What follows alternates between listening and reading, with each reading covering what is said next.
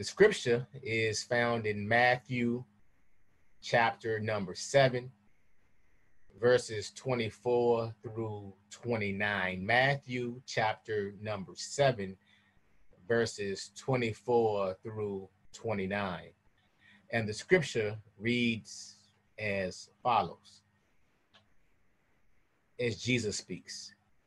Everyone then who hears these words of mine and acts on them will be like a wise man who built his house on rock. The rain fell, the floods came, and the winds blew and beat on that house. But it did not fall because it had been founded on rock.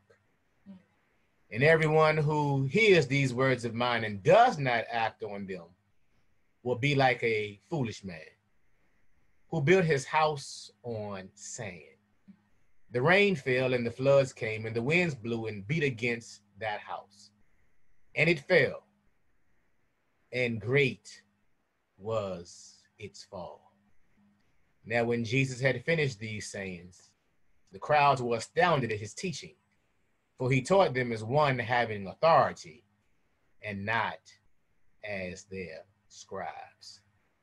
Like to use for a subject this morning the key that enables us to stand.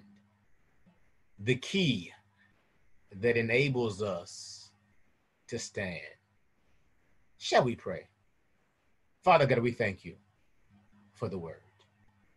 Lord God, we pray that you would just speak to me and speak through me. Save, heal, deliver, and move in a mighty way. I pray that your Holy Spirit would just touch everyone who hears my voice. Lord God, may you give us a word to encourage us, a, word to instruct us, a word to help us to make it through life. Lord God, we thank you for your word. Help us, God, to stand in this season, in every season. We praise you and we glorify you. Spirit of the living God, fall fresh on us. Spirit of the living God, fall fresh on us. Have your way, God, and speak now to me and through me. In the name of Jesus Christ, we pray, and we receive it by faith. And the saints of God say, Amen. The key that enables us to stand.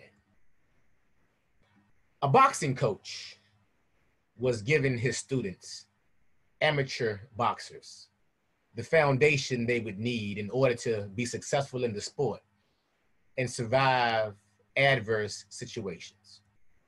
The coach told his students that in order to win any fight, they would have to ensure that during the fight and at the end of the fight, that they were able to stand. Furthermore, there was a key concept or a lesson they had to learn that would enable them to stand no matter what came their way. This concept was so vital, so essential to the student's success that the coach had to teach it in a way that the students would never forget. The coach set up a boxing match between two equally matched students in the class. He wanted the whole class to observe this fight. Then the coach sent both of the fighters through vigorous but different training routines. Both fighters would watch, film, and study different fighting techniques. Both fighters would lift weights, jump rope, and do extensive cardiovascular training. Both fighters would practice throwing punches, jabs, and combinations. Both fighters would learn defense and how to protect themselves at all times. Both fighters would, stern, would study and learn the footwork that goes with throwing punches and maneuvering around the boxing ring. But during the entire training pro process, only one fighter would spar daily and actually participate in boxing matches, putting the studied skills to use. At the end of the eight week period, the two equally matched boxers fought. And the one who had sparred daily destroyed the other fighter knocking him out quickly. The next day after the boxing match, the coach called all of the students uh, together, including the two young men who fought. The coach said, Gentlemen, two things that I want you to learn from yesterday's boxing match. Number one, everybody has a plan going into a boxing match until you get hit in the mouth. Number two, none of the skills or boxing techniques matter if you don't do them at all times, especially when adversity comes. One fighter was studying boxing technique, while the other was ensuring daily that no matter what came his way, he was applying what he had learned so he would be able to stand. The application of my teaching is the key. Class dismiss. I have found that one of the keys to success in this Christian journey is actually doing what the word says at all times, especially during times of crisis and adversity. In this text, as Jesus concludes his Sermon on the Mount, he gives one last teaching on the importance of application that will enable us to stand. First, hear me, wisdom and action go hand in hand. Wisdom and action go hand in hand. In the top drawer of my bedroom dresser is a healthy communication checklist slash advice sheet that was given to me by my marital counselor and personal therapist. Yep, I know some of you are stuck right there. My pastor has a therapist, but that's your issue, not mine. Anyway, the communication checklist has all of this great and essential advice for marital relationships. Seek to understand before being understood. Express all of your feelings without holding back, but in a non threatening and peaceful manner. Don't holler, cuss, name call, put your partner down, withhold affection, get physical, use the silent treatment, etc., etc. Take a time out for 45 minutes or so if you feel yourself getting upset, and then re-engage your partner in a healthy way. Don't dwell in the past. Address one issue at a time. Don't throw in the kitchen sink or attack your partner with several issues at once. All great marital advice. Mm-hmm.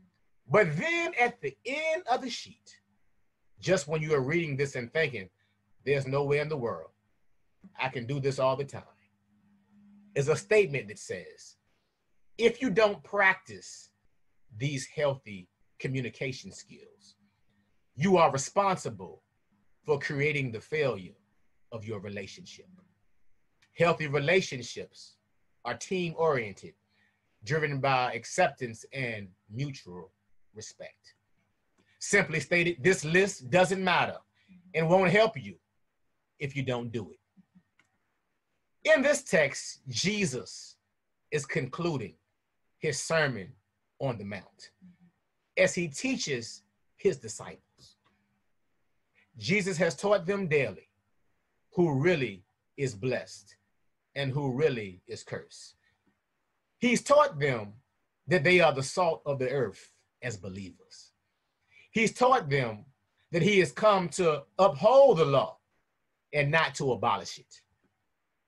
Jesus has taught them to reconcile with their brothers and sisters in Christ before approaching God's sacred altar. Jesus has taught them not to have lust in their hearts.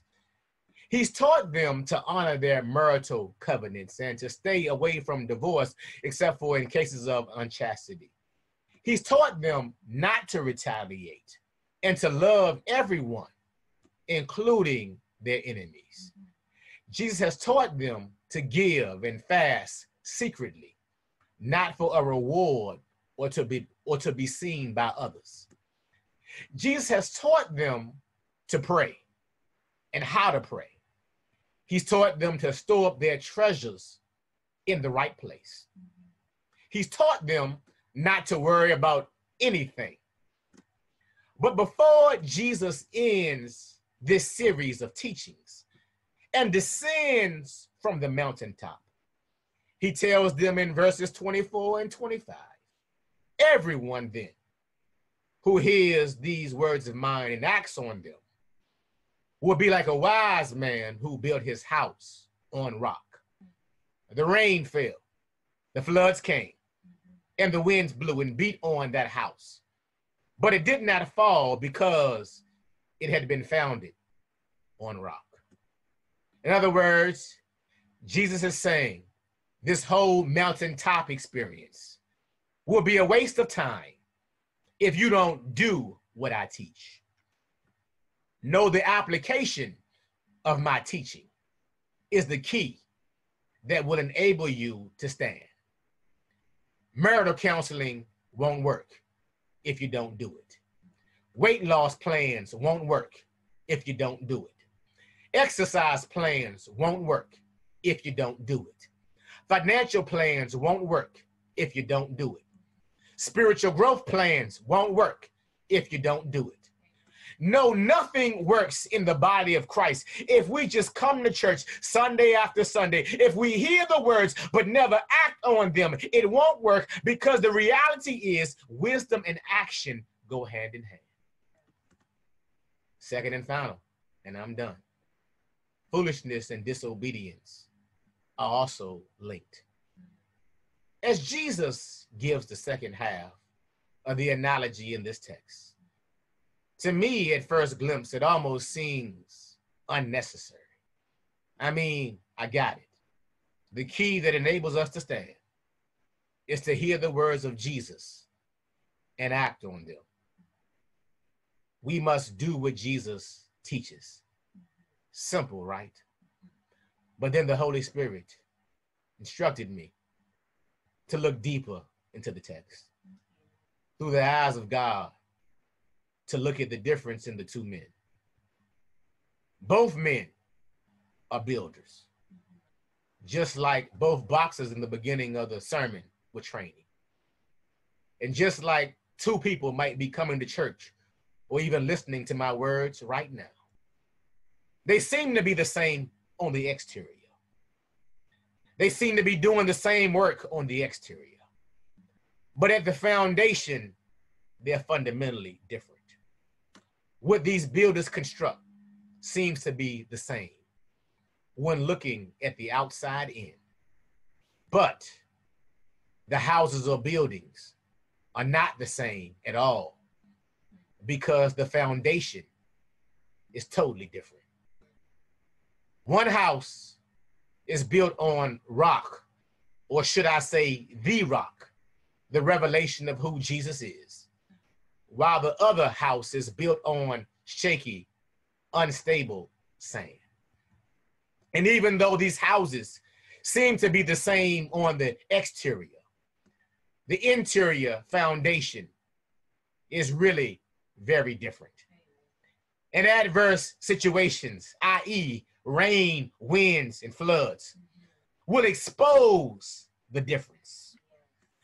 If your day is controlled by what people say, if your service is based on what people do, if your praise is affected by how people act, if your joy is rooted in your bank account or your job, if your happiness and Christian service is determined by how a man or a woman is acting at the moment, just maybe your house is built on shaky, unstable sand. And even though you seem to be the same on the exterior, when the storms come and the rains come and the floods come and the winds blow, the, the difference will be exposed which means that the rain falls and the floods and everything that comes in verse 27. It said, if your house is built on a shaky foundation, your house will not stand. Verse 27 clearly states, our house will fall and great will be the fall if our house is built on an unstable foundation like sand. And just like wisdom and obedient action go hand in hand, foolishness and disobedience are also linked. Foolishness is not just saying foolish things. Sometimes foolishness is what we do. Let me help you here. No matter what comes our way, it's foolish not to praise God. No matter what comes our way, it's foolish not to give God the honor and the glory.